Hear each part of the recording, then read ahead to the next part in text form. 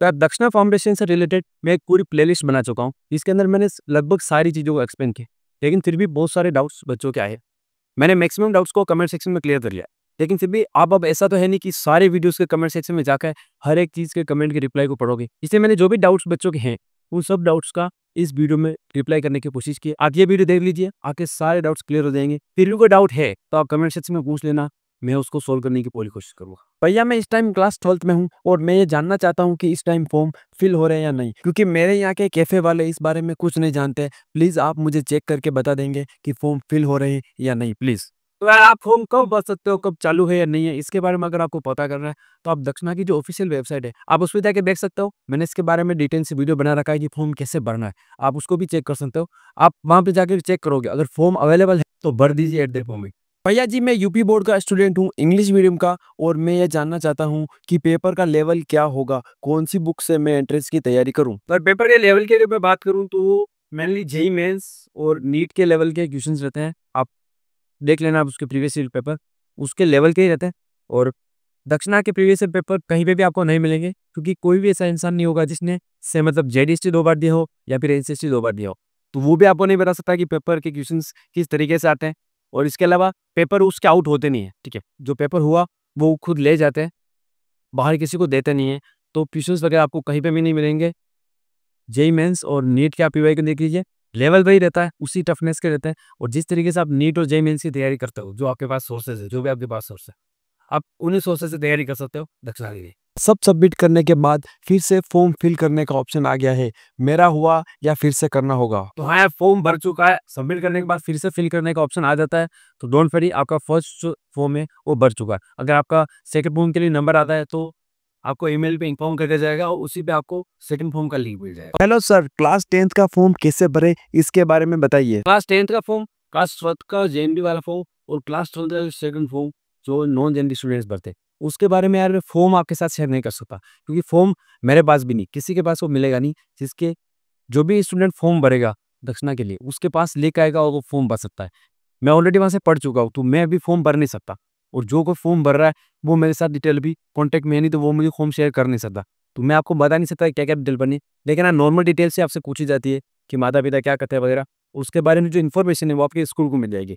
Tenth में normally एक ई होता है, एक एनसीएसटी होता है, और दोनों की इन्फॉर्मेशन वो स्कूल को भेज दीजिए तो आपके जो स्कूल का स्टाफ है, जो एग्जामिनेशन इंचार्ज वगैरह है, उनके पास इन्फॉर्मेशन आ जाएगी, उनके पास लिंक वगैरह आ जाएगी, वो स्कूल लॉग इन करके आपको जो जनरल डिटेल्स होगी, वो भरनी है। आप डायरेक्ट खुद से नहीं भर सकते, उसके बारे में ज़्यादा टेंशन मत हो उसके बारे में आप स्कूल वालों को बोल सकते हो सर फॉर्म कब आए, क्या है? थोड़ी बहुत आप उनसे कॉन्टेक्ट कर सकते हो मतलब उनको याद दिलाते रह सकते हो, ताकि वो अपनी मेल को पैन चेक कर रहे हैं।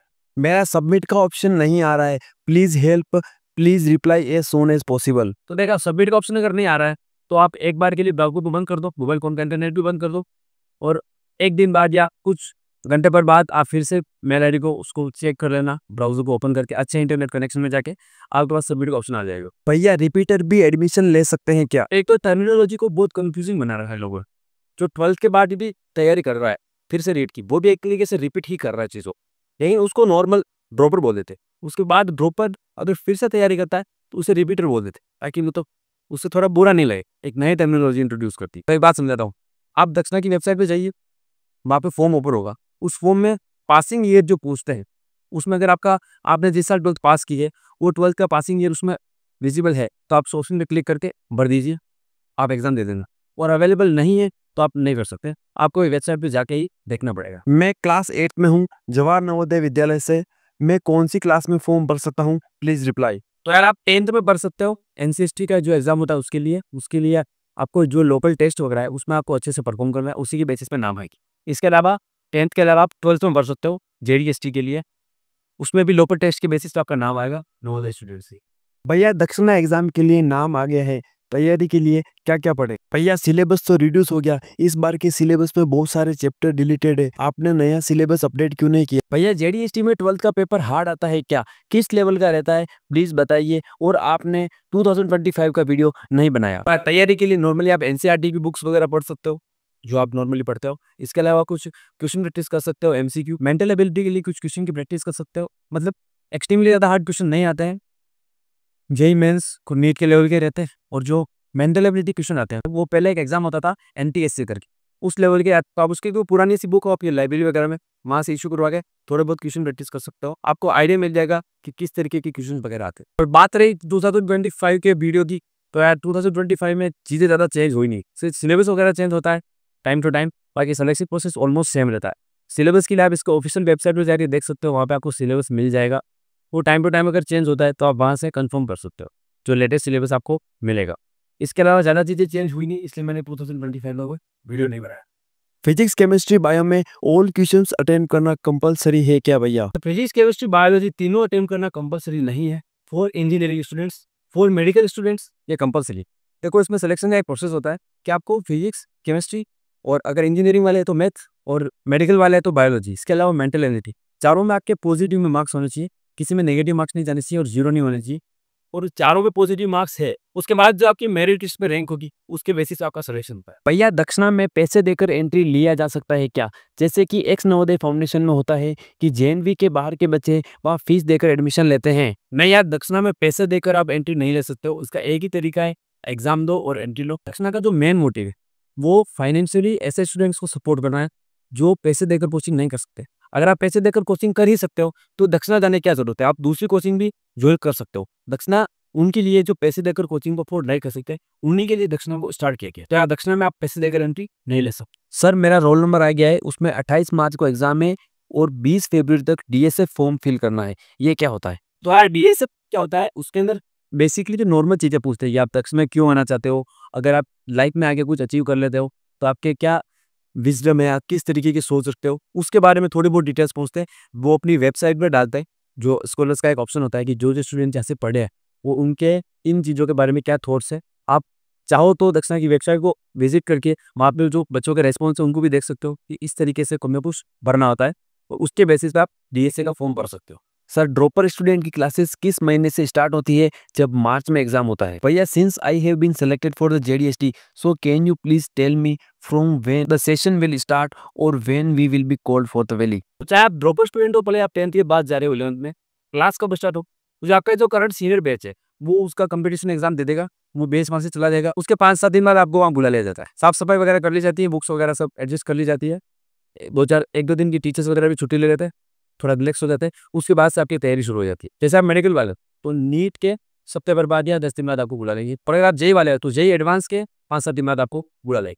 हेलो भैया I have clear the written test now I have my interview on this twenty third डर लग रहा है इंटरव्यू में क्या होगा इंटरव्यू के बाद सेलेक्ट करेंगे या नहीं? इंटरव्यू में बेसिकली जो आपने डिटेल्स भरी है कि ऐसा मेरा घर है मेरे घर का बेसिकली ये एरिया है फैमिली इनकम ये है ये सब चीज़ें वो कंफर्म करते हैं। आपकी नॉलेज को वो चेक नहीं करते क्योंकि नॉलेज को वो ऑलरेडी चेक कर चुके थ्रू अ रिटर्न टेस्ट इसलिए नॉलेज को चेक नहीं करने वाले, जो डिटेल्स आपने भरी है, कि मेरा ऐसा ऐसा घर है, मेरी फैमिली इनकम ये है, उन सब चीज़ों को कंफर्म करेंगे सर्टिफिकेट्स वगैरह को देख के। तो बस ये चीज़ होने वाली है डरने की कोई बात नहीं है नॉर्मल इंटरव्यू होने वाला। भैया प्राइवेट स्कूल भी तो भर सकते हैं। मैं तो प्राइवेट से ही भरा था एलिजिबल हो गए एग्ज़ाम भी दिए और सिलेक्शन भी हो गया इंटरव्यू है अट्ठाईस को। आप एक बार बता दीजिए प्राइवेट से हैं तो इंटरव्यू में नहीं ना डिस्कालीफाई होंगे स्कूल की एनुअल खर्चा कम है। सर प्राइवेट स्कूल का ये सीन है कि अगर आप ऐसे प्राइवेट स्कूल में पढ़ रहे हो, जिसकी फ़ीस बहुत कम है। या फिर आप ज़्यादा फ़ीस वाले प्राइवेट स्कूल में किसी स्कॉलरशिप के थ्रू पढ़ रहे हो, जहाँ आपकी फैमिली को पे नहीं करना पड़ रहा है।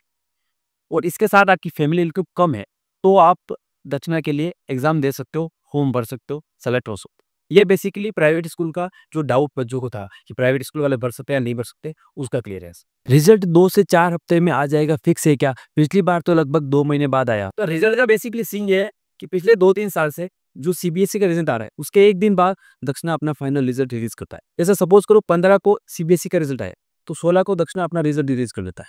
नॉर्मली भी दो तीन साल से ये हो रहा है।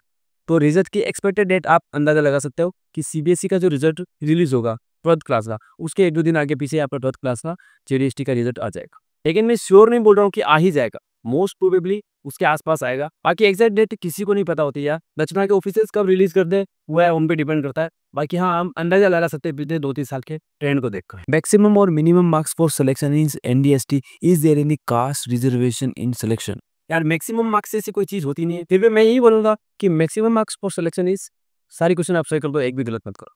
बाकी मिनिमम मार्क्स मैं आपको पहले बता चुका हूँ कि आपके सारे जो सब्जेक्ट्स आप अटैप कर रहे हो चार। उनमें सब में पॉजिटिव मार्क्स होने चाहिए ज़ीरो या नेगेटिव नहीं होने चाहिए। उसके बाद आपका मेरिट लिस्ट में जब नाम आएगा तो लिस्ट में जितनी सीट्स होगी, उसके बेसिस पे आपको सिलेक्ट किया जाएगा। अब पेपर का टफनेस कैसा है?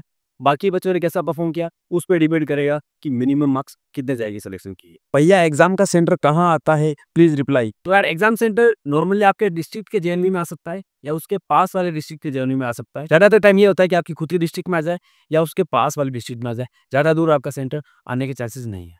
स्टेट कोटा है क्या? तो यार इसके बारे में क्लियर इन्फॉर्मेशन आपको कहीं पे नहीं मिलेगी। लेकिन जो चीज़ें मैंने ऑब्ज़र्व कि मेरे बेच में कौन से स्टेट के ज़्यादा बच्चे थे। तो यार इंजीनियरिंग में ऐसा कुछ ज़्यादा पैटर्न आपको देखने को नहीं मिलेगा। लेकिन मेडिकल में आपको पैटर्न देखने को मिल सकता है कि स्टेट का कोटा आई थिंक होता है। क्योंकि बहुत सारे स्टेट्स में कटअप कम रहती है। तो यार दक्षिणा आपके फ्यूचर को बढ़ाने की कोशिश कर रहा है। वो चाहता है कि वो बच्चा वहाँ से पढ़े और सेलेक्ट हो जाए। अब मान लो कोई दो स्टेट है ए और बी दोनों में मेडिकल की कट ऑफ़ अलग अलग जाती है। एक में आपको सीट स्टेट कोटा की मिल जाएगी 536 मार्क्स पर और एक में मिलेगी आपको 620 मार्क्स पर। और सपोज़ करो दक्षिणा के सिलेक्शन टेस्ट में दोनों के बराबर मार्क्स है। अब ज़्यादा चांसेस किसके है? मेडिकल कॉलेज में जाने के। जिस स्टेट की कटअप कम है उस बच्चे के। इसीलिए हो सकता है दक्षिणा में शायद ये चीज़ें भी मैटर कर। बाकी इसके बारे में श्योरिटी से आपको ज़्यादा तो नहीं बता सकता। क्योंकि इसके बारे में इन्फॉर्मेशन किसी को होती ही नहीं है। भैया कितने बच्चे सेलेक्ट होते हैं जेडीएसटी में? तो यार जेडीएसटी में एट दिस मोमेंट लगभग 600 बच्चे सेलेक्ट होते हैं। कितने इंजीनियरिंग के होंगे कितने जे के होंगे उसमें से बॉयज़ कितने होंगे गर्ल्स कितने होंगे ये रेशियो थोड़ा बहुत चेंज होता रहता है। बट हाँ रफली तीन मेडिकल और तीन सौ के रहते हैं। अगर जे के बॉयज़ ज़्यादा लिए तो मेडिकल की गर्ल्स ज़्यादा करनी पड़ी। ठीक है? हॉस्टल तो फिक्स है ना कि गर्ल्स हॉस्टल में इतनी सीट है बॉयज़ हॉस्टल में इतनी सीट्स है। तो वो चेंज होता रहता है थोड़ा बहुत लेकिन यार रफली सौ बच्चे सेलेक्ट होते हैं। इंजीनियरिंग और मेडिकल दोनों को मिलाकर ये स्ट्रीम भैया, जो ईमेल फ़र्स्ट टाइम फॉर्म के लिए यूज़ की थी, वो ब्लॉक हो गई। डबल फॉर्म भर लूँ सेफ़ है या नहीं? प्लीज़ रिप्लाई मैं देखो, अगर ईमेल ब्लॉक हो गई है तो मैं यही बोलूँगा कि दूसरा फॉर्म भर दो, क्योंकि मेल ब्लॉक हो चुकी है। अगर आपका सिलेक्शन होता भी है सेकंड टाइम के लिए तो उस पर मेल आएगी। आपको वो मेल रिसीव होने वाली नहीं। तो आप एक तरीके से बात पहले हो चुके हो। तो मैं बोलूँगा कि आप से दूसरी मेल आई फॉर्म भर दो। अगर आपका सिलेक्शन होता है तो उस पर आपको मेल आ जाएगा। ठीक है? और कोशिश करो कि आप दक्षिणा की जो टीम है उससे कॉन्टेक्ट कर सको। अगर कोई दक्षिणा की वेबसाइट पर आपको कोई मेल आईडी मिलती है तो आप उस पर ये अपनी प्रॉब्लम उनके साथ शेयर कर सकते हो, उनको भेज सकते हो। शायद कुछ सोल्यूशन मिलता है बाकी हाँ सेकंड फॉर्म भर दीजिए, क्योंकि अगर नहीं भरा तो आप वैसे ही बाहर हो। क्योंकि आपको मेल का सेकंड फॉर्म का लिंक आएगा, वो आप एक्सेस कर नहीं सकते। तो हाँ सेकंड फॉर्म भर दो। तो यार ये था वीडियो। आई होप कि आपका सारे डाउट क्लियर हो गए हो। फिर भी कोई डाउट है तो पूछ लेना। मैं उसको सोल्व करने की पूरी कोशिश करूँ